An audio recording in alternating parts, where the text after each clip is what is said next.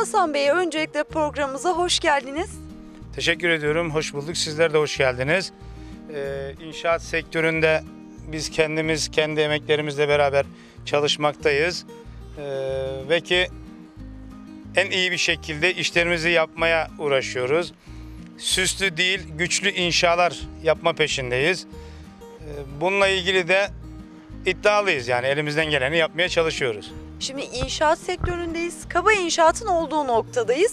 Ben birazcık aslında projelendirme aşamasını konuşmak istiyorum sizlerle. Biliyorsunuz kötü bir e, olay yaşadık 6 Şubat'ta ve yıkımlar çok fazlasıyla gerçekleşti.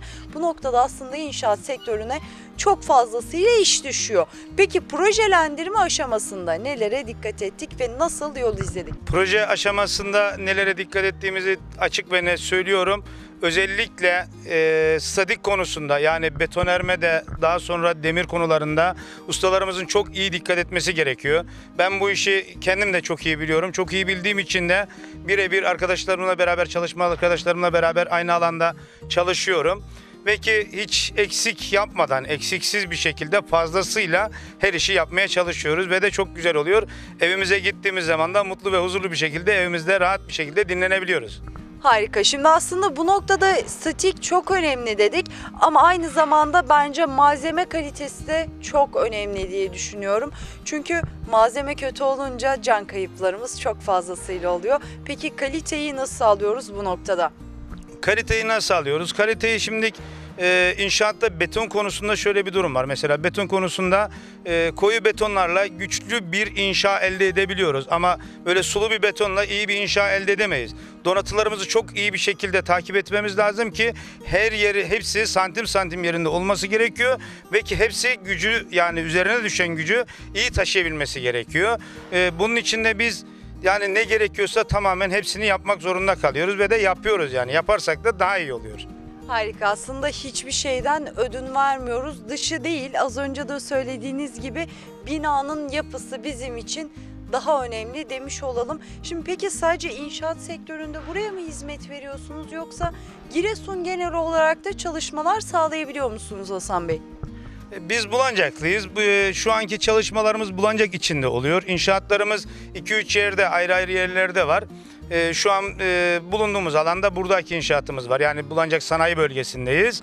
Diğer taraftaki inşaatlarımız var ama şu an Giresun dışında değiliz. Sadece Bulancak'ta çalışıyoruz. Bulancak'tayız demiş olalım. Şimdi değerli izleyicilerimiz mutlaka şunu da merak ediyor olacaklardır. Evet sizler inşaat yapıyorsunuz ama bu noktada ben gelsem desem ki ya Hasan Bey bizim bir yerimiz var ama işi bilmiyoruz. Nasıl yapacağız? Bu noktada sizlere proje teslim ettiğimiz takdirde sizler yine inşaat yapabiliyor musunuz?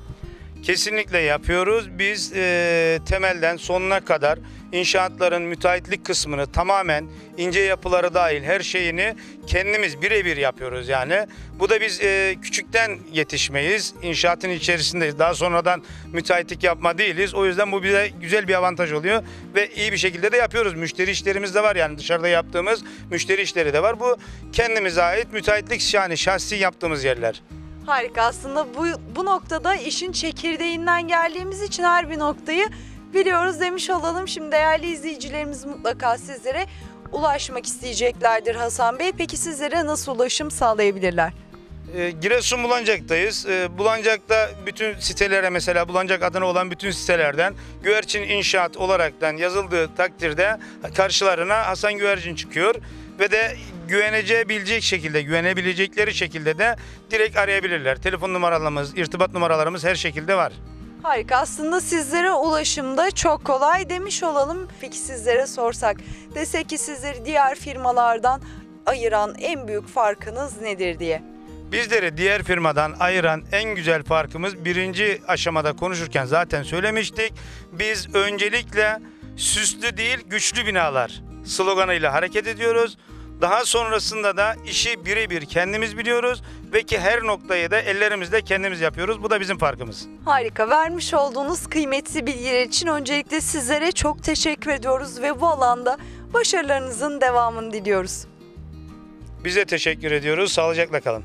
Ekibimiz adına bizler rica etmiş olalım. Efendim bizler size alanında lider olan bir firma sahibimizin hem başarı hikayesini hem de aslında Bulancak'ta vermiş olduğu hizmetleri anlattık. Efendim şimdilik bizlerden bu kadar diyoruz. Sürçülisan ettiysek affola bir sonraki durağımızda görüşmek üzere. Seyirde kalın, hoşça kalın.